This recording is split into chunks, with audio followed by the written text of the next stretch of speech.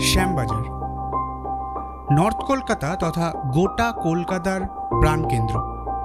হাজার হাজার মানুষ এই জায়গাটাতে আসে কিছু রুজি রোজগারের তাগিদে, অথবা কিছু মানুষ আসে একটা ভালো সময় কাটাতে। আর বিশ্বাস করুন, এই জায়গাটা কাউকে ফেরায় না।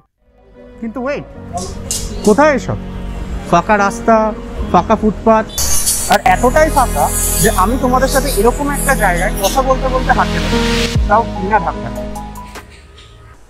কিন্তু এই নিউ নর্মালে যদি এখনও অবধি কিছু না বদলে থাকে সেটা হচ্ছে এখানকার খাওয়া দাওয়ার কালচার তাই তো? এক্স্যাক্টলি তো এখানে আপনি যেমন পাবেন বিভিন্ন এক্সপেন্সিভ রেস্টুরেন্ট তার সঙ্গে কিন্তু আপনি পাবেন বিভিন্ন পকেট ফ্রেন্ডলি স্ট্রিট ফুডেরও আর তাই জন্যই আজ আমি বিশাল তিন মূর্তির এক মূর্তি। আর আমি শ্যাম। আমরা এক্সপ্লোর করব এখানকার কিছু ফেমাস পপুলার রেস্টুরেন্ট এবং দেখব তারা কীভাবে এই নিউ নর্মালে কোপ আপ করছে। এবং অবশ্যই খাবার তো থাকছে। তো আর দেরি কিসে চলো। চলো।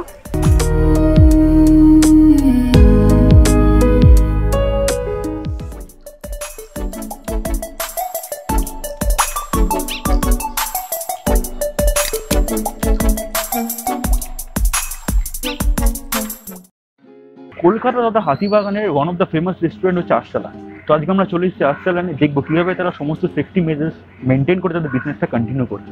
তো চলো, খাওয়া দাওয়া শুরু করতে হবে তো নাকি?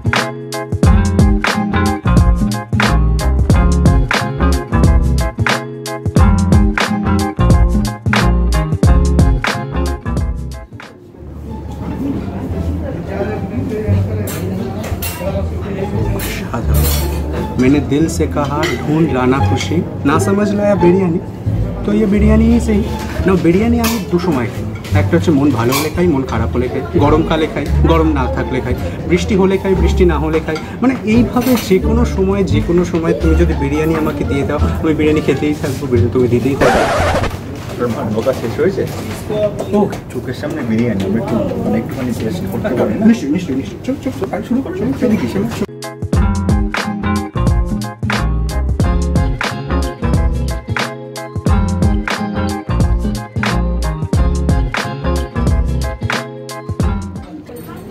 অলরেডি কিন্তু বিরিয়ানি আমরা টেবিলে চলে এসেছি। এটা হচ্ছে মাটন বিরিয়ানি নর্মাল এবং এটা হচ্ছে স্পেশাল হায়দ্রাবাদি মাটন বিরিয়ানি। তো আজকে আমরা টেস্ট করব।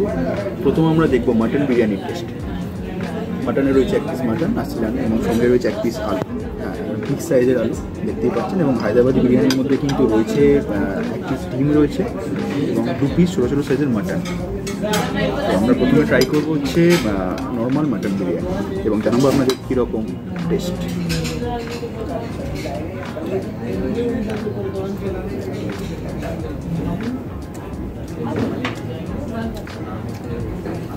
সেই খেতে সেই বিশ্বাস করুন জাস্ট ফাটাফাটি ফাটাফাটি এবং বিরিয়ানির সঙ্গে যদি আলু না খাই, তাহলে আমি জানি আপনারা আমাকে বিপ বলতেই পারেন। সর্বসুখ সর্বসুখ। তো এবার হায়দ্রাবাদি বিরিয়ানিটা ট্রাই করা যাক।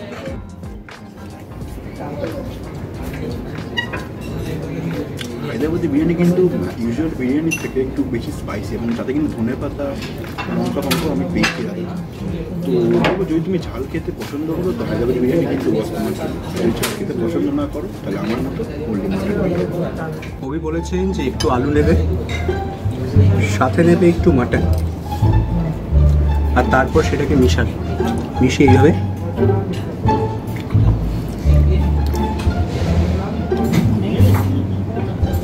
এভাবে খেয়ে নেবে। তাহলে স্বর্গের থেকে যে উপরে যেটা আছে সেটা ডাইরেক্ট উইদাউট ভিজা